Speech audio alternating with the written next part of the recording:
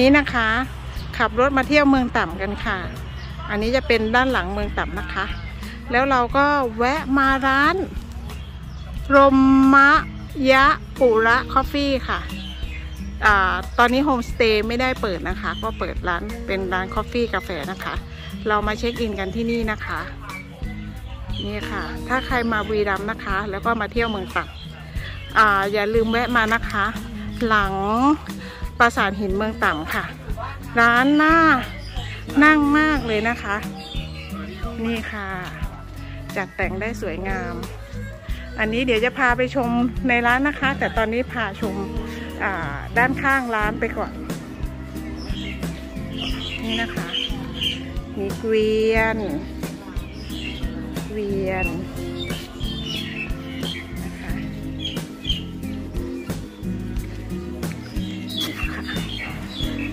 มีที่นั่ง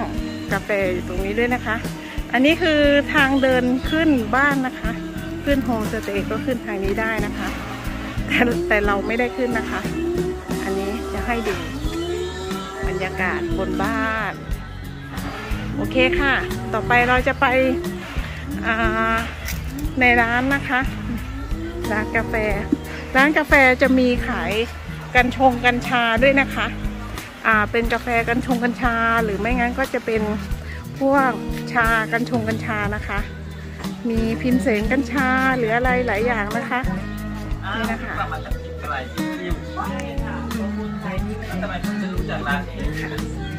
มีมีขับผ่านเมื่อกี้เห็นแล้วก็วนมาอีกรอบมีชดาให้ถ่ายรูปด้วยนะคะ สวมถ่ายรูปได้ถ้ารู้ว่ามีแหละมางานเจ้าของร้านน่ารักมากเลยนะคะมาถึง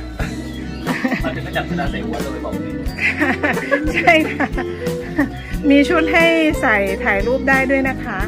แล้วก็เนี่ยค่ะ เมนูอาหารเมนูเครื่องดื่มของที่นี่นะคะค่ะ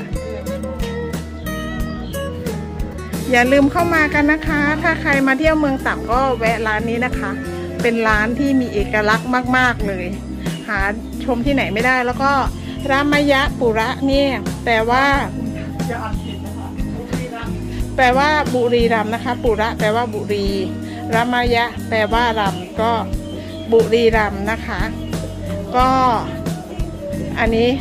พี่จวนจ้าพ่อมารู้จากเจ้าของร้านนะคะว่า แปลว่าบุรีรัมนะคะ จ้าที่อ่านผิดด้วยจ้า อ๋ออ่านว่าอะไรคะที่อ่านว่าระมวยปุระค่ะ ตอนแรกอ่านระมวยปุระนะคะ จริงๆแล้วไม่ใช่ระมวยปุระ เป็นรามายะปุระนะคะ โอเคค่ะสำหรับวันนี้ก็ไปก่อนละค่ะ บ๊ายบายค่ะ บ๊ายบาย บ๊ายบาย